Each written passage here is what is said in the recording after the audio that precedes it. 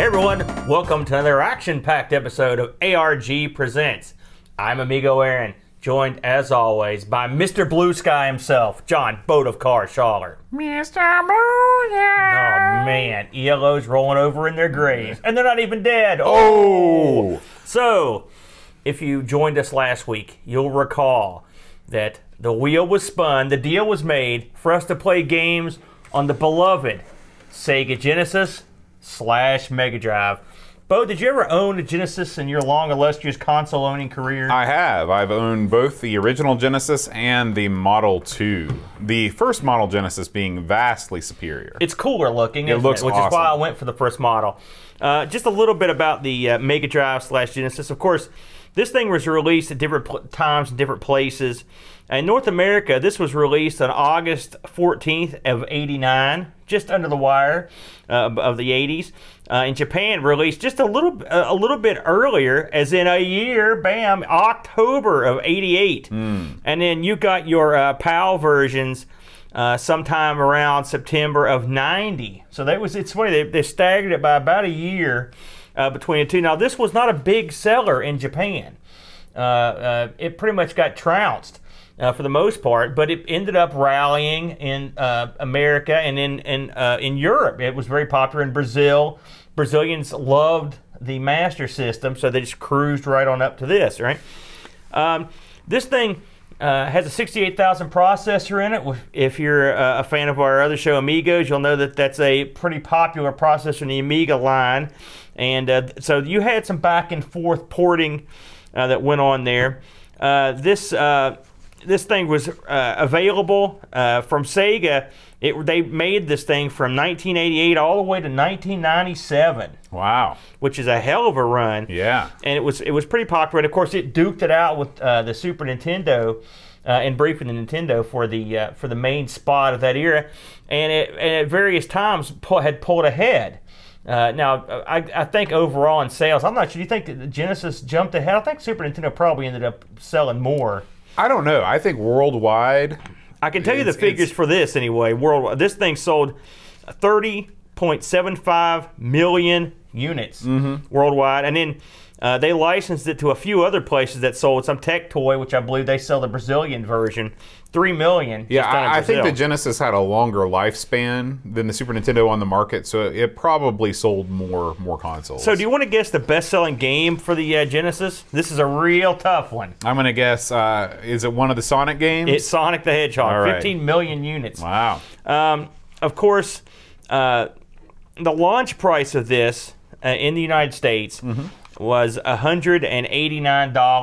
All right, not bad. It's uh, very similar to the. I think the the Super Nintendo launched around the same around the same price. Right, and then and by today's money, that'd be 386 bucks. So you know, that's it sounds like a ton, but uh, it's not as much as, as you would think. Uh, the Genesis did have some online capabilities. Did it have what Nintendo don't? It did. Uh, it had a thing called XBAND, uh, which my brother actually has one of the XBAND cartridges. I, I've never actually seen one in use.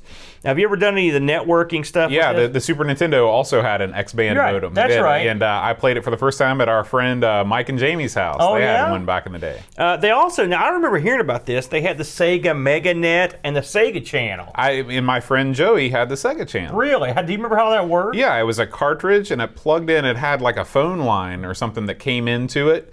And uh, you basically downloaded games over over you know a broadband or not broadband a modem connection, you know over a T1 line like everybody had in 1989. How did it work? Do you remember? if it- Did it work pretty well? It seems Yeah, like it would work okay. Yeah, I mean the games were pretty small. Because I guess it would just And- write the game to the cartridge, Yeah. and when you'd play until it was done. So effectively, you would have the cartridge until you were done. And the, the cartridge was also the UI, so there was a menu, and you just scroll through and you pick the game that you wanted.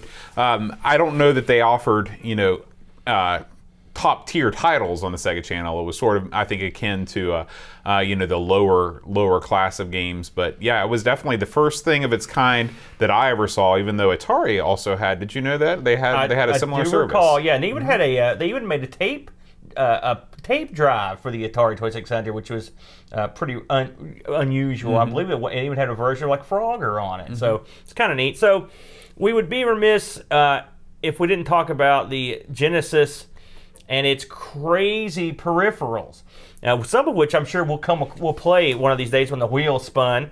But uh, the Genesis had had quite a few nutty peripherals and, and add-ons.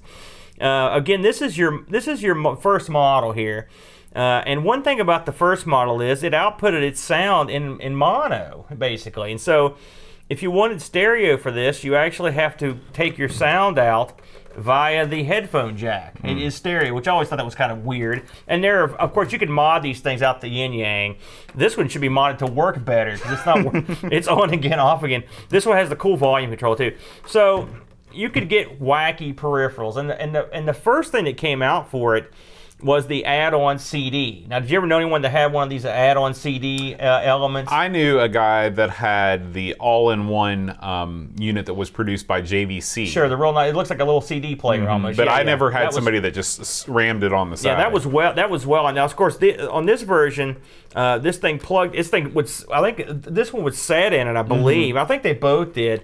And then uh, um, you'd have your CD over here, uh, and then you also had uh, a uh, uh, these X30, the 32X, which was like a uh, it's kind of a mushroom shaped deal that just fits in the cartridge slot. It's got its own cartridge slot, and it would play 32X games. I actually got one of these things.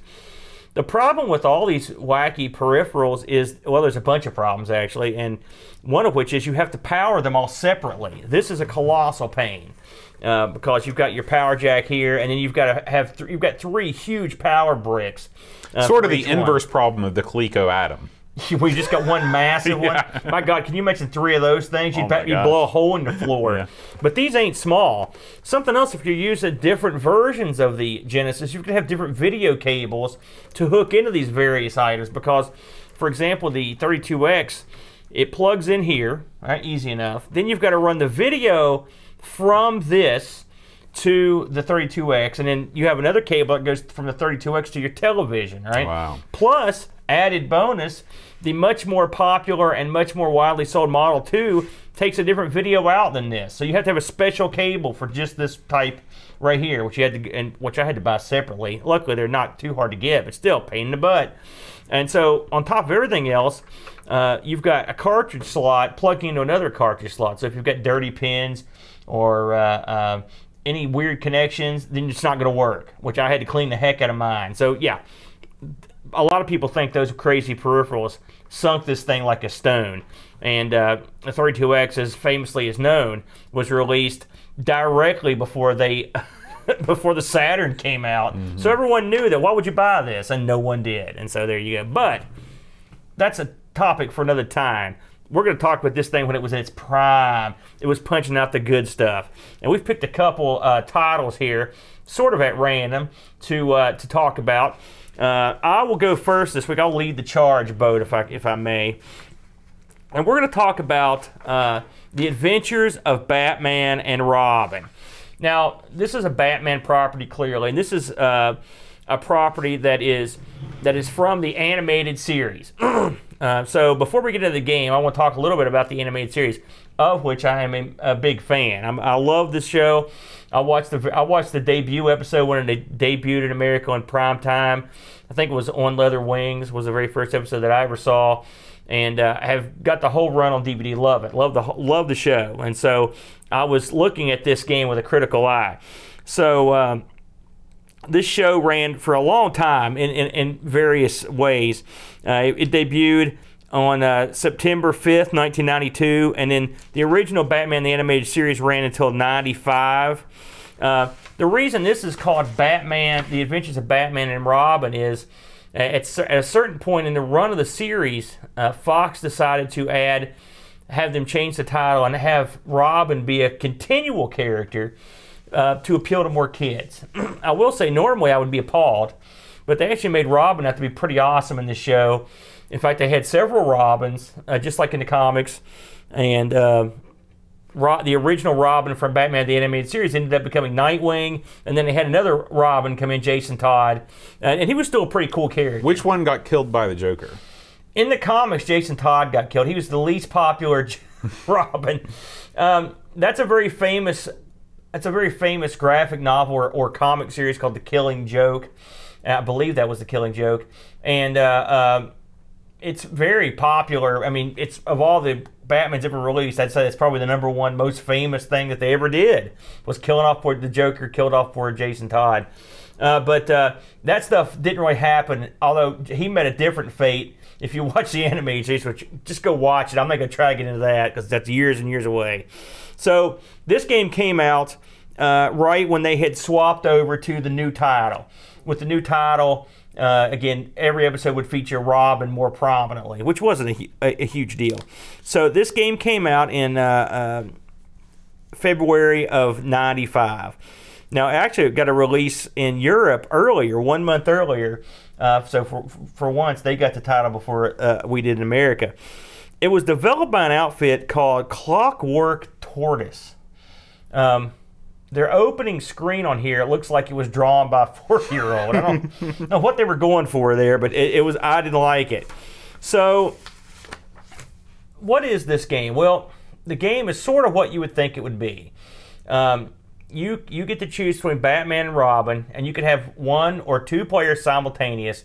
In which case, someone plays Batman and someone plays Robin, and you go through the game uh, to beat these various levels and the levels are split up like episodes of the show, uh, which I'll get into in a little while. But you, each each uh, major level has four or five like minor levels in it, and maybe a few like lower level bosses that are related to the main bad guy, uh, and that's how it goes. It's pretty standard fare really for this for this sort of stuff. Um, so the premise of this game is uh, you're you're eventually going after Mister Freeze, who's sort of the heavily billed bad guy in this.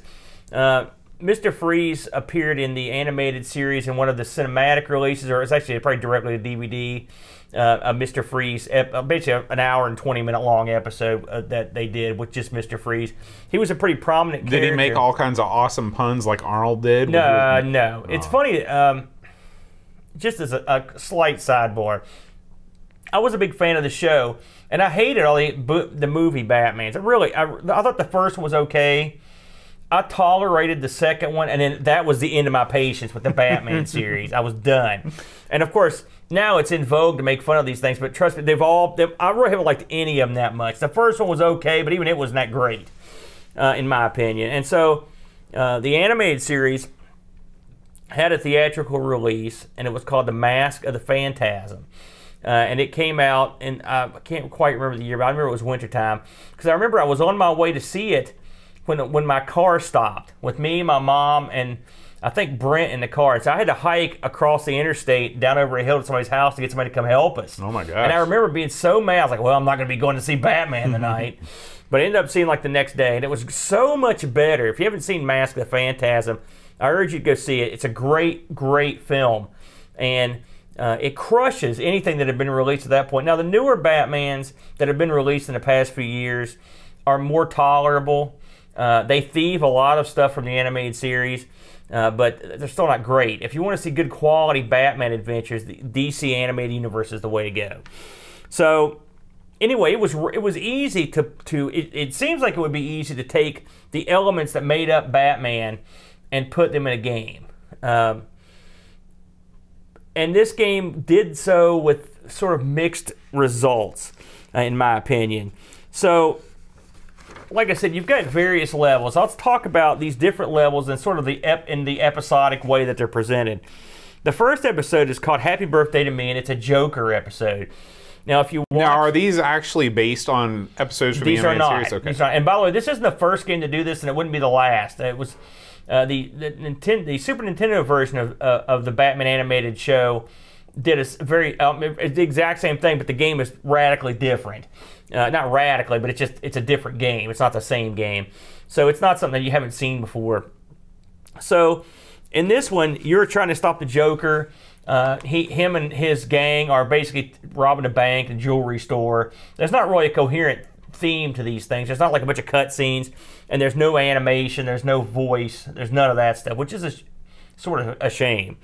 Uh, so, in the first in the first level of this one, uh, like I said, you're going after the Joker's gang, and the the gang is presented like clowns. Some of the clowns are big oafy guys. Some of them have guns. Uh, you know, it's a generic beat 'em up stuff. and it's split into like an upper and lower level, uh, sort It's of like bad dudes. it in some ways. In fact, there's another level in this game that's really, really like bad dudes. But basically, uh, you you're Batman or Robin, and you've got really a couple attacks. You've got like a a, a, a, a, a, a projectile that you could upgrade. Then you've got just sort of a generic batarang, and then when the guys get close to you, that batarang turns into punches and kicks. Um, so right out of the gate, I had trouble with this game, and the, the reason I had trouble, I have trouble with any of these games where Batman throws like four million batarangs. Now, even if you've only seen the movies, you would know that Batman doesn't. He'd have to have a sack of batarangs. he, he throws them like he's dealing cards. That's I right. He's Gambit. He ain't. and, and and the fact that Batman's using all these projectiles, it always irritates me. It, and you have to use. them. You don't have a choice. Right. Um, the the fact that these low level flunkies give Batman so much trouble that irritates me too. Batman's skills as a detective kind of downplayed in this time. Not a not a not a not a peep. Of course, Roy. That's like the bad guys are being subtle. Right. you know, I mean, the first level, the whole screen shaking, this crap. You know, it's crazy time. So this is good. I knew right there. I was like, this is going to be one of those, and it is. I mean, this is more akin to something like a Contra mm-hmm. than it would be to a Batman game. If if Contra could go fisticuffs with you, you know. Um, the second thing I noticed right out of the gate was this game was merciless. I mean, I played this game a lot this week, and I've never beat the first.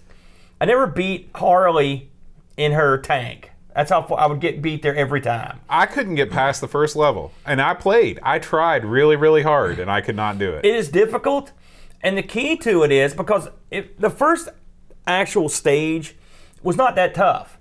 When what what makes it tough is when the guys come out with those guns. They come in pairs, and they sh- they have like a triple shot, and they shoot. Uh, in different directions at you, and it's uh, really tough to very dodge. to, it's very hard to avoid them. On top of that, you've got these big clowns that come out and that you have to deal with, and they're real tough uh, to deal with. But I could get pa- I could get to the point where the game gives you the ability to have six continues, which sounds like a lot, but it's not. Right, because you only get two lives. Right, and so I could get to the point where Harley Quinn comes up with her tank, the birthday tank, and she would. Oh, I never got past her. So you know what that meant. I had to resort to trying to cheat. I had to resort to watching videos. Were you able like. to get? I couldn't figure out. There is a level select code that I I found. never got it to work I couldn't get it to work either. No, I had to download some save games and play with an emulator, which Hmm. I don't like to do. Um, so, like I said, the boss on that level is Harley. She comes out in a tank. All right, it's it's a odd. Um, it's okay. Harley is a is what a lot of people don't know this, but Harley was a unique character to the show. She didn't exist in the comic books. They made her up for the show. Mm-hmm. Yeah. So I always thought that was kind of cool. And of course now she's you know She's one of the biggest stars in the it's universe. funny how that works. Uh, the hotness, I'm sure, came into play. Yes. So you go through the most of the first level is just basic stuff. Uh, there's a level where you have to fight a bunch of copters, and then eventually Harley comes back, and, and you have to fight her. Plus, you have to fight this crane that's uh, coming back and forth. And I will I often fight cranes. the effect the effect of the uh, crane is awesome. I will give them credit. Do you remember the game um, Ballz? I think that's what it was called. It was, it was all based on balls. it's like, a fighting game, right? Yeah, yeah. It's that kind of. Uh, I'm trying to think of another game that has that kind of same kind of gimmick, where the, there's a series of balls in a line, and they use it to make the illusion of. Yeah, of- of- it's like scrolling, uh, or it's like scaling using Right. using balls to scale. And and this that is one of the that little scene reminds me of what irritates me about this game. Hidden in this mess of gaming, uh, difficulty wise, is some pretty nice effects. Some nice scrolling. It runs fast. Uh, it looks pretty good. I mean, I was I thought it looked I thought it looked pretty good uh, for the most part. And but that I'd say the, the of all the things I saw, I thought the crane was the most interesting thing in the whole game visually. I thought it was interesting to look at. So uh, eventually, you run across the game, which are the the series of uh, events in the first level that reminds me of Bad Dudes, where you run around the, on this endless convoy of trucks before you finally get to the Joker in a huge, uh, like uh, chompy, big chomping mouth hot air balloon, and to take him down. I will say when the Joker dies or falls, he lays down and just looks like mauled. It's so it's pretty appealing because the Joker's a, a pretty amusing foil. now, the Joker never actually dies in any of the versions of the Batman universe, right? Oh yeah. Well, I mean, in the comic books, everyone dies a million times. I mean, so it's hard to say. But I mean, in the animated show, Uh, well, again, you'd have to really get into it and watch it. That's uh, if you're going to watch a Batman Beyond, which was sort of the natural end of that show. I think he does meet his demise, but but no one's really sure. Right. Um, by the way, just uh, Batman in the in the show is voiced by a guy named Kevin Con uh, Con Conroy, I think's his name, Conway, and the Joker is voiced by Mark Hamill of Star of Star Wars fame, and he's got a lot of he's gotten a lot of praise for. I think he's ability. probably more famous from his role in Wing Commander, to be honest. He was. Listen, I liked Wing. I liked him in Wing Commander. I, I liked him in everything he's done. Uh, but this, his Joker is the he's the best. yeah, the best. His Joker is You really know, good. he is number one with a bullet. So uh, that's the first level. I'm not going to be as full with all these other levels. The So the second level is is Two Face. Okay, it's called a two sided story. This one, the first section, is put you on an ele- it's the old elevator level. Yeah, right. We've the all worst, seen them. yeah. It reminds me of. Uh, uh, heavy barrel like or something. Streets of Rage Yeah, 'em. they've all got them. And then uh, you have to fight some uh, uh, Zeppelin's cannons. Now this this level does do something that is sprinkled throughout the game. It has a flying level. Um, it is generic. Um, it's generic looking shooter basically. I mean, it's just it's not it's plain Jane. There was nothing special about it in my opinion. I wasn't so overly impressed with it. It's, I mean, this this was not our type. You know what I'm saying? It's just it's just some. It's okay. It breaks up the other parts of the level, but it's not like I was like going like, oh yeah, this is the stuff. If you'll recall, there was another Batman game where they added like a driving level, and the driving level was pretty good. Like you're like, oh, this is nice. This I would say is a step below that. Um, so the the boss at this one, you finally end up fighting this huge helicopter, and you have to fight Two Face himself. You know, c'est la vie. So the third level, probably my favorite level, Tea Time. Tea Time features the Mad Hatter in a cartoon. He's voiced by Roddy McDowall, which I, I absolutely love. Roddy I don't know anything about him. Really? Yeah. You don't know who Roddy McDowall is? I thought you were going to say Roddy Roddy Piper. Do you know who? You ever watched uh, Planet of the Apes? No. Have you ever seen uh, Fright Night? We've reviewed it on Amigos. So you haven't seen the movie No. though. You don't know who Roddy McDowall is. You ever seen Hell House? These don't sound like movies I would watch. Okay. Well, trust me when I tell you, he was he was like president of the Screen Actors Guild for like a long time. He's a big deal. Okay. So look him up. But he's awesome. He did the voice of the Mad Hatter, and he did it great. So I was sort of looking forward to a Mad Hatter level, but this level I, is ridiculous. I mean, I, I cheated my way to get there, and it was I couldn't do anything. I just got mauled. Super tough level. Uh, the, uh, uh, the it's called Tea Time. And there's on the first level, this is these things that are. I had to look up what they were called. They're called shock puppets. These things they suck. I mean, they're I I couldn't get past them to save my life. They were just really tough. Um, and this one, you fight a robotic cat face that's curtain draws. You have to fight this big flat face, and these little cat paws come out. Weird. yeah, it is. it's very strange. What do you want? And then you also fight a Robo Pinocchio at one point. Now that I can get behind. yeah, yeah, I know what you mean. Um, there's also a neat section on this that's a flying section where you're flying down a tunnel, and the tunnel scrolls out like this, and it's real well done. It's another aspect Is it of like a trench, trench, trench run sort of deal? I'm trying to think what I could compare it to. Sort of, it's sort of like Stun Runner or something. Just like it was really neat the way it was, and it was real uh, trippy, you know. But again, that was cool. But it's a lot like a Laserdisc game. Like, look at that background, but the foreground not not so good. Yeah. Uh, and then finally, you, uh, of course, you fight you fight the boss, and he's got he flies around his huge hat, and he's you know, which I guess he could do that, but anyway. I didn't think that was that good either. So finally, you get to the end, and it's called Snow in July. Uh, again, it's some snow stuff. There's flying with a jetpack. You fight Mr. Freeze. Wham Bam Bob's your uncle. You crack his helmet, kill him, or wipe him out. And at the end of the game, it shows him in Arkham telling Batman he's going to get vengeance. And then that, I mean, the ending of this was crap. It's like that's all. It was what you would expect. Uh, now here's a news flash: this company never did another thing. so they were well known for really pushing the limits, but in the end, they didn't make a good game. Uh, and this game is just known as being too difficult to, you know, push comes to shove. So, your thoughts? yeah, I, you know, I, I really wanted to like this game because at first I thought, well, I can get behind this. It's it's it's got simple controls. I like the way that you can jump up on the ledge above you and swing and- out and kick the guys? Yeah, I thought that was That's cool. great until the gunners come out. Yeah. Then you're then you're boned. Uh, there are some control things that that hamper this game. One is you don't turn fast enough. Uh, in Contra, you know, you, you you are able to you hit the button and the guy immediately spins around. There's a slight delay that means certain doom in this game. Um, you know, it's it's not a one-hit kill game. You do have a health bar and there are power-ups scattered about, but I I always get frustrated when I can't even beat the first level. And that's that's where I was with this one. This game is known for its difficulty, so it's not but as usual. I know how to pick them, uh, and this is a tough one. Um, in fact, the, the the third level has been called one of the hardest levels in any game, uh, so your mileage may vary.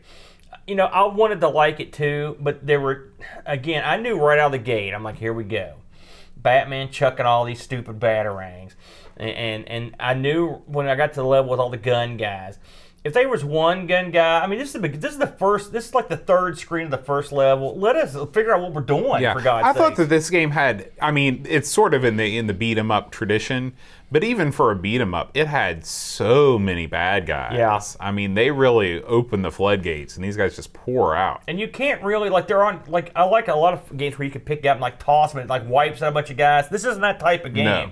It's more of a shooter. Mm-hmm. It's if you're like- in hand to hand combat zone, you you're way they're way too close. I would call it a Gryzor clone. Now, you can build up your secondary weapon, all right? And after a while, like, that really gets you a long ways. But I can mm-hmm. never get far enough to build it up enough. I mean, it's, well, I, I would build it up to where I felt like I was good, and then I would die and lose it. and that and it's it's so frustrating, especially those. And also, when you take those continues, of course, as usual, you start at the beginning of the level, which is beyond no frustrating. So yeah, I can't I can't say that I enjoyed it. I tried to, I, and even the animation, so it's okay. But you know, not having the voice acting and not having any sort of cutscenes was a real letdown. Now, with that said, the Mega Drive version, the Mega the Mega CD version of this has little clips in it. It has voice acting.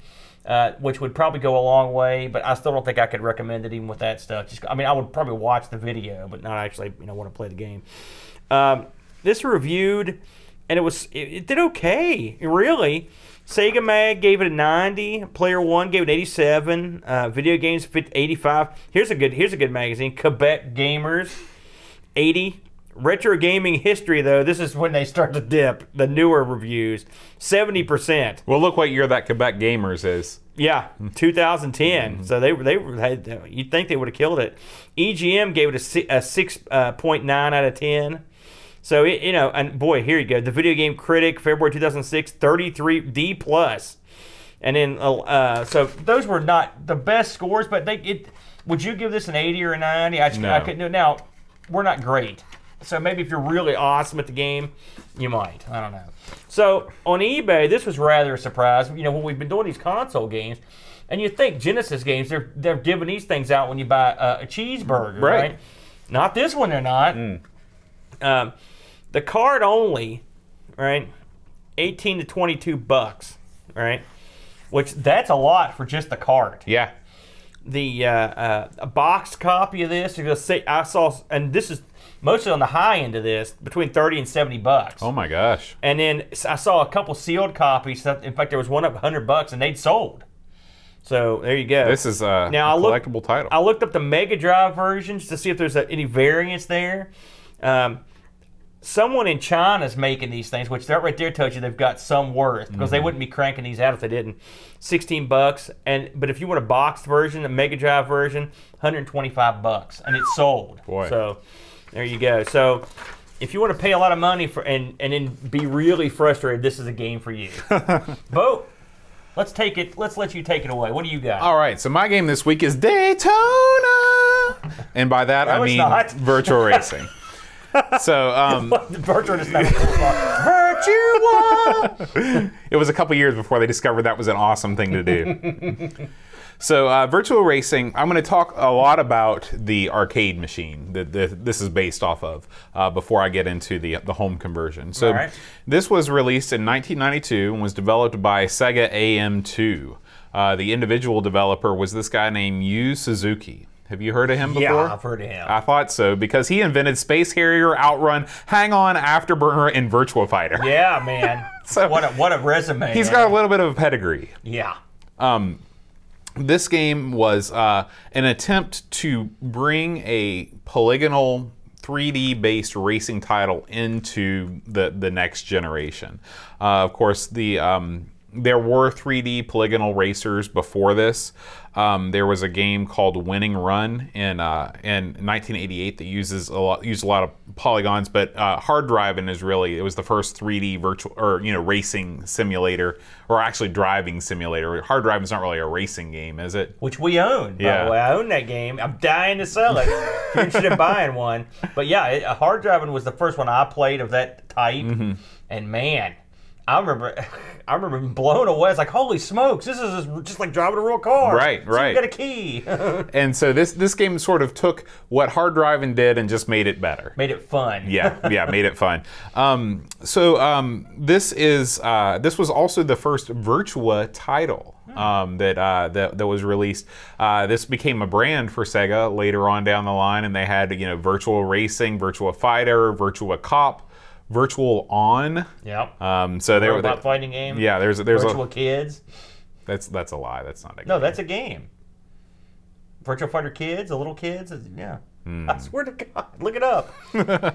Um, so the uh, the original arcade game and our our port uh, has three different tracks. Uh, there is uh, they're split into beginner, intermediate, and advanced. The beginner is called the Big Forest. Uh, the intermediate is called the Bay Bridge, and the expert level is Acropolis. Ooh. Yeah. Um, each level has its own special feature that you can view as you're, you're spinning around it. Uh, Big Forest has a uh, amusement park. You can see the Ferris wheel in the background. Uh, Bay Bridge, the big attraction is the bridge, of course. Makes sense. And Acropolis is just known because it's got this it's got this tight hairpin turn. You go down this stretch and then it's literally just doubles back on itself. So those are the three stages.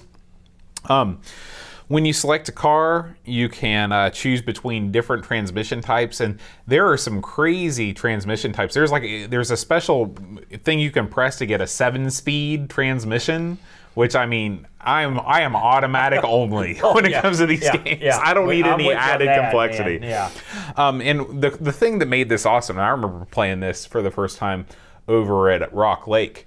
Um, the the uh, Yes, the yes. the putt putt arcade laser tag arena nearby where we live, and uh, it was just so cool that they had the view, the different views. There were three or four different views you could three, select yeah. with with buttons right there on the console. And At uh, any time, yeah, at any that right? time. And so it was so cool to be able to see the bird's eye view or go down the cockpit or whatever. So I thought that was awesome. Um, so uh, all versions of virtual racing in the arcades were linkable up to eight players. So you could have you could have some pretty massive races. And we've done that. yeah, you were just talking about Our buddy, our buddy who has an arcade in Charleston has, uh, what's he got? Four of these linked up, and he's even got little TVs that go on top of them so people can watch you play. Yeah, they, they were actually they were known. Those TVs were known as live monitors, and they would sit on top of the twin cabinets and uh, replay action shots occurring with actual players. And there was actually even a virtual commentator named Vert McPolygon. that would give you play by play. Yeah, yeah, I missed out on Vert. Bert McPolygon, what a name! So, um, home console version of this game, you know, I chose this game to review on the Genesis, and um, this game was too. It was in, in, the long and short of it is, it's, it was too advanced for the Genesis. They had to do some internal cartridge modifications to get this thing to work, by which means that they soldered a whole new chip onto the cart to give it the ability to push this many polygons out. Um, there was a, uh, a, a- the cartridge design was known as the Sega Virtual Processor, the SVP, and um, the what everybody remembers about this game, aside from how impressive it was to see on the Genesis, was how expensive it was. Yeah. Uh, in 1994, we're nearing the end of the Genesis's life uh, span, and it was selling for about 100 bucks. This cart retailed for about 100 bucks. So Yeah. the, the the cart was as expensive as the machine. I believe it had the same circuitry that was like in the 32X, right? It might- might- Yeah. I mean, it's at least very similar. Now I will tell you that this game, because of because of this chip, uh, it locked it out of uh, both Majesco's re-released Genesis 3 from 1998, so not the original Genesis 3, but the second model, Yeah. and it wouldn't uh, work on any Genesis with a 32X. You had to take the 32X out There to are, get that to work. You also can't play any. Uh, you can't play any Master System games with the 32X in. Hmm. Yeah, so the 32X has some kind of who knows. Who knows what's going on Yeah, in that thing? It's crazy. Yeah. Uh, however, if you have a 32X, you're in luck because the Sega 32X version, which was known as Virtual Racing Deluxe, Yeah. uh, it was also released in 1994. So Sega, it was clear that they didn't know what they were doing with the 32X. So they, wait a minute, wait a minute, wait a minute. They launched this for the Genesis, and then they launched the thing to play in the special thing the same year. Right. So instead of making Virtual Racer their killer app for their new console, they're like, well, we'll just release a Genesis version too. Can you It's- imagine that? Well, it's it's it's the Amiga in action, you know. did, It's now, did you get a price on the deluxe? Uh, Because I'm wondering if the price on the deluxe was cheap enough to where you could get the 32X plus the deluxe for under the amount of money it would cost. That, wouldn't that be funny? Yeah. Yeah. I've Um, never heard that. I've played the 32X version. It's better. and well, it's got two extra cars and it's got two extra tracks. Yeah. So there's no reason not to get the 32X version. Uh, there was also a Saturn version that I'm sure was Yeah, awesome. which it is. And uh, and then PlayStation 2 version came out a couple of years later, actually about 10 years later. Um, Couple of years. it was called Virtual Racing Flat Out. And I have never I've I never played that. that. Yeah. No, um, I'm not. I'm not familiar with that one. yeah, it includes three new courses and four new cars. Really? Yeah. We may have to get that. I've got a PS2. Yeah, yeah. So um, this game, I love this game. I think it's great. It it it combines a lot of the things that I like about other racing games into one. Um, it's got really, it's a very bright environment. You know, the sky is super blue. The colors really pop.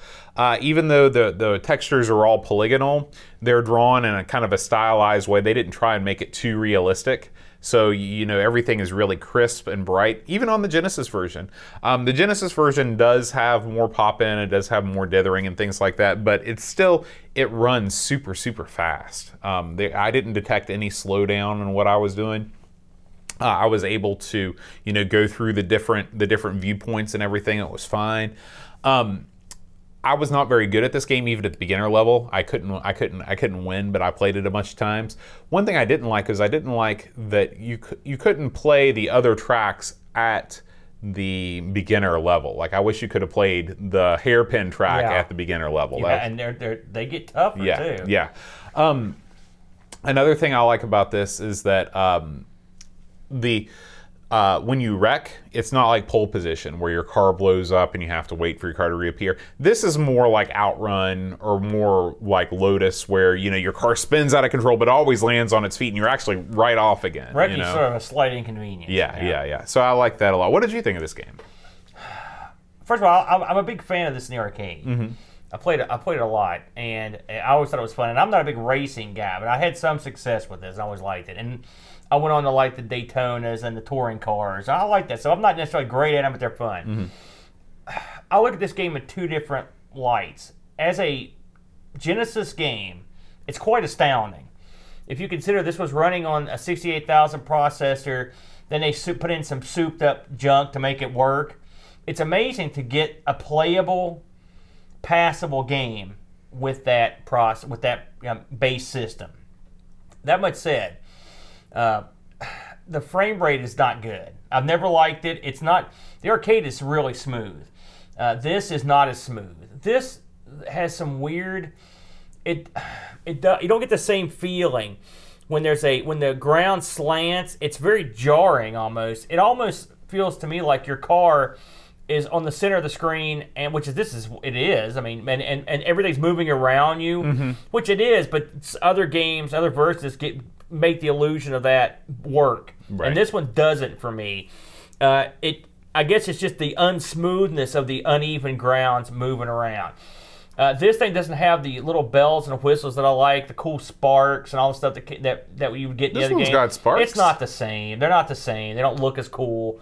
They the uh, um, I do. I will say it's. I mean, it's as a technical achievement, it's impressive. If I'd had nothing but a Genesis, all right, and this came out, and I was a big fan, and I bought it, I would not be disappointed. Okay, so that's sort of the ultimate compliment. However, the CD32X ver- or the 32X version is way better.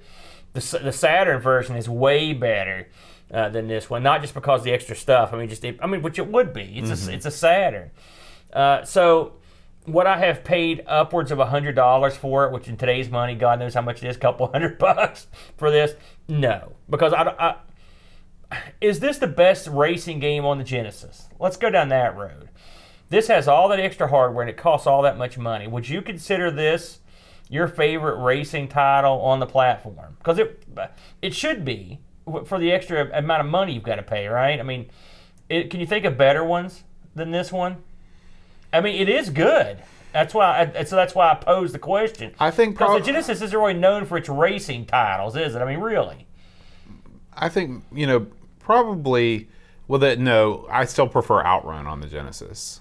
Outrun on the See, Genesis. is I, I have good. to agree with you, but no, but Outrun isn't nearly as. Um, um,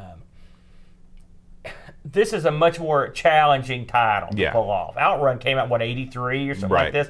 This came out, Yeah. you know, much much later. and I really and, and that's that's really you know I've played Outrun for years and years and years and I've barely scratched the surface of, of virtual racing. Maybe virtual racing it would become my favorite if I gave it some more time. Well, I, I just, I, I, like I said, I can look at this in 2018 eyes uh, because there are other easier, better ways to play it. Mm-hmm. And it wasn't too long after this was released. I mean, clearly the same year, right. uh, the 32X would have been the way to go. Yeah. And also, you knew that the Saturn was coming. This would probably get ported to that.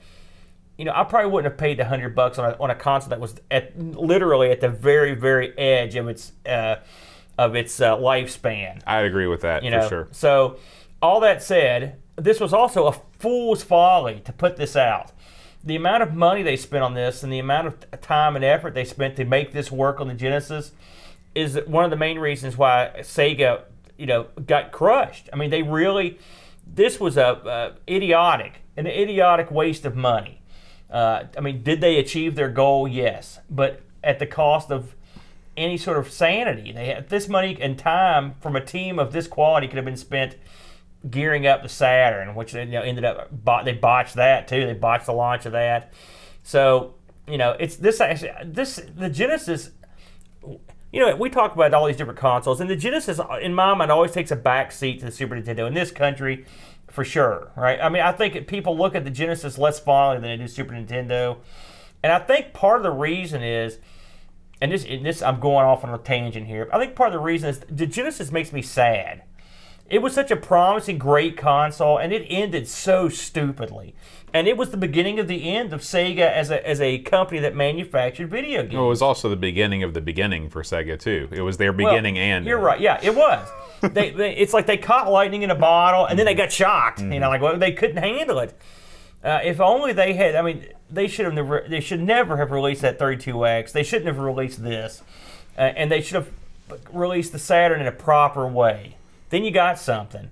Uh, so Well, it, yeah, That's my that's thought. that's it, and and we could we could talk about the, all the follies of you know right. Sega couldn't have they couldn't have imagined that 3D games would take off the way that they would, and they designed the Saturn primarily as a 2D system, and Yeah, yeah. there were there were mistakes were made. but they were they had screwed up that market. They had screwed up well before the Saturn Yeah, got well they, they they they announced and launched the Saturn on the same day. I know, was- I know.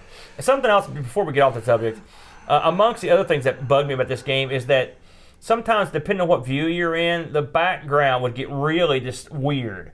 Like it would, like you would almost the track and some of the grass around it would kind of go into this like mystery zone. You know, you there'd be a lot of see through. And again, I feel bad. Uh, I don't, I don't want to. I'm not here to kill this game because it's an incredible technological feat. But it just it shows you the difficulty of something of this complexity that was smashed into a cartridge and stuck in the Genesis. So in that aspect, it's quite remarkable. If I were to come across one of these cartridges for a, a song, I'd buy the hell out of it just because it's such a, it's just uh, uh, um, an amusing, interesting piece of video game history. So on that, I would definitely give it its merits. And as a technical achievement, I give it its merits. And as a playable game, I give it its merits. So I guess actually I sort of recommend it, but you know, I have my qualms about it.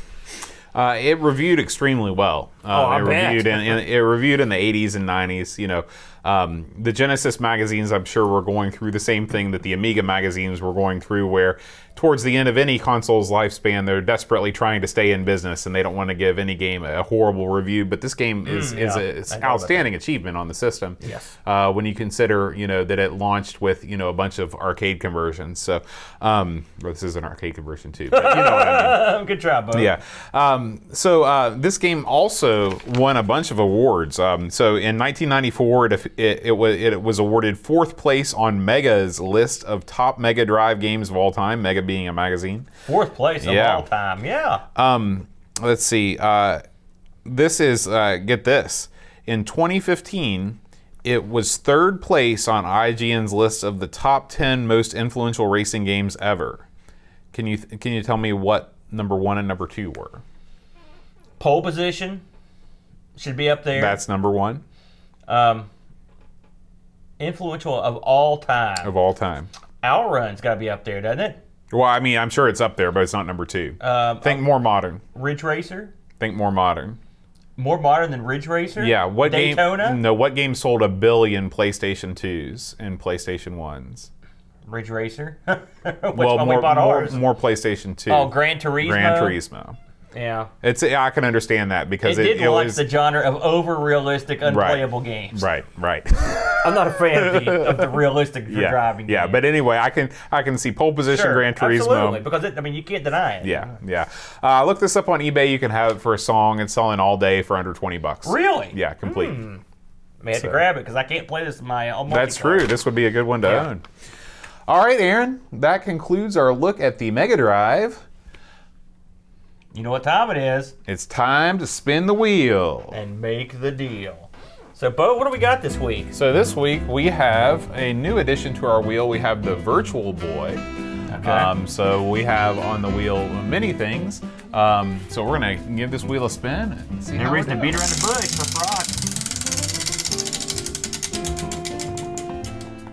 All right, it looks like the Sega SG-1000 is the uh, our next our next title. The Sega SG-1. Bo, I've got no idea what I've. I have no idea what's in here. I remember what I picked. All right. So That's mine. that's yours. So uh, I think it's your time to go first this time around. Okay, I've picked Girls Garden.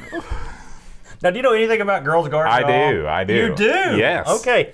I picked Hero.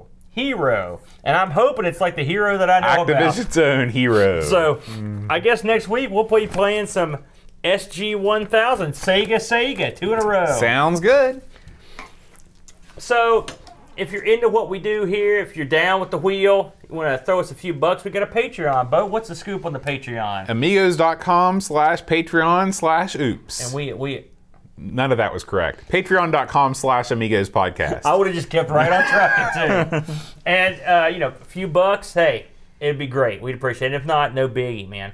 And we also are selling some shirts, including some ARG related shirts. That's right. If you go on over to teepublic.com slash store slash Amiga Tees, you can check them out. Beautiful. So what do you think? SG 1000 next week? Let's do it. All right. So we'll see you next week for some Sega action. And until then, adios. Adios.